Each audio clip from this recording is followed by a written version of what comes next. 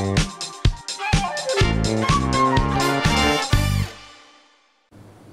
Bentrovati anche per la nostra pagina sportiva di oggi, basket, beach soccer, pugilato nella nostra scaletta. Iniziamo da una bella notizia per gli amanti del basket perché verrà riqualificato il Campino di San Filippo, un campo da basket all'aperto, aperto a tutti, che è punto di riferimento per tanti ragazzi amanti di questo sport. Il comune di Lucca ha firmato la convenzione con l'associazione Amici della Pallacanestro per rinnovare e dotare di una grande opera di street art il campo da basket di San Filippo, un intervento per riqualificare e rendere più bella e attraente una struttura sportiva di quartiere all'aperto. Noi ringraziamo l'associazione Amici Pallacanestro Ollus e ringraziamo anche l'associazione Start perché ha consentito che un bando regionale fosse dirottato su questo campino che verrà un campo all'avanguardia per quanto riguarda la street art, ma soprattutto dà un po' il là a noi, all'amministrazione e al sottoscritto per iniziare poi un percorso di riqualificazione e valorizzazione degli impianti polivalenti dei campini da basket anche eh, nelle frazioni. L'associazione Amici della Pallacanestro si farà carico dei lavori di rifacimento della pavimentazione del campo con il contributo della Fondazione Cassa di Risparmio di Lucca. Poi il Comune farà realizzare un grande intervento colorato di street art dall'associazione Start Open Your Eyes, un'opera finanziata con fondi assegnati dalla Regione Toscana e affidata a Teo Parisi in arte Moneless. L'associazione che presiedo, che è l'Associazione Amici della Pallacanestro Lucca, ha pensato di eh, riqualificare questo campino, storicamente detto campino, per gli amanti, in special modo della pallacanestro, perché vogliono dire, stare in un contesto sano.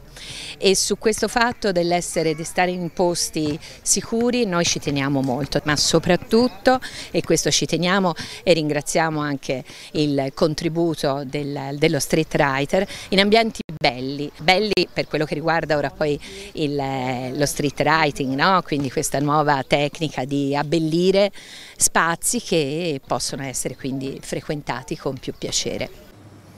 Beach Soccer inizia il campionato Under 20 con la Farmae Viareggio che è di diritto tra le favorite dopo aver vinto due scudetti consecutivi nel 2021 e 2022. Ci racconta tutto Roy Lepore.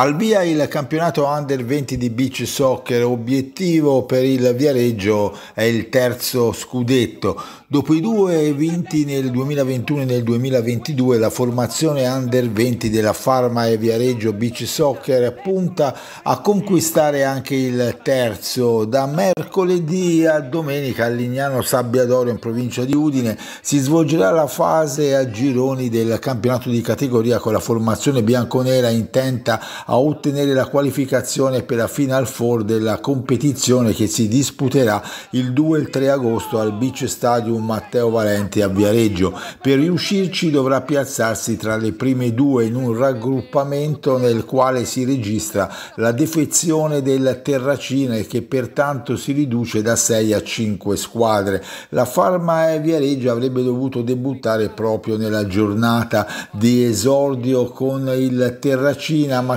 scenderà invece in campo giovedì alle 16.30 per affrontare il Lamezia. Venerdì alle 11.30 sfiderà il Città degli Eventi, sabato alle 16.15 il Catania, mentre domenica alle 16.45 è previsto il match contro la San Benedettese. Il primo e l'ultimo incontro saranno trasmessi in diretta streaming sul canale YouTube della Lega Nazionale Dilettanti. Per questa tappa sono stati convocati Moretti, Morbini di Ridoni, Rombi, Cosci, Fantinato, Tomei, Remedi, Lombardi, Santucci, Belluomini, Santini e Bastilio. La squadra è allenata da Daniele Cinquini, il secondo è Michele Gemignani. Grande soddisfazione per la pugilistica lucchese, Sasha Mencaroni è stato convocato di nuovo in azzurro, il talentuoso pugile allenato da Giulio Monzelesan che causa infortunio aveva dovuto rinunciare a partecipare ai campionati italiani junior. Lunedì Mencaroni partirà alla volta della Romania dove la squadra junior della Federazione Pugilistica Italiana sarà impegnata fino al primo luglio in un campo di allenamento. Intanto all'Astrassigna, Craflecal ha battuto ai punti il pugile di casa Lorenzo Tumminaro della Paradiso Box l'Astrassigna nella categoria 71 kg Youth. Prossimo obiettivo per il portacolori della pugilistica lucchese, i campionati italiani Under 22 di fine settembre. E questa era l'ultima notizia della nostra pagina sportiva. Rimanete con noi però perché tra poco c'è la terza parte del TG Noi.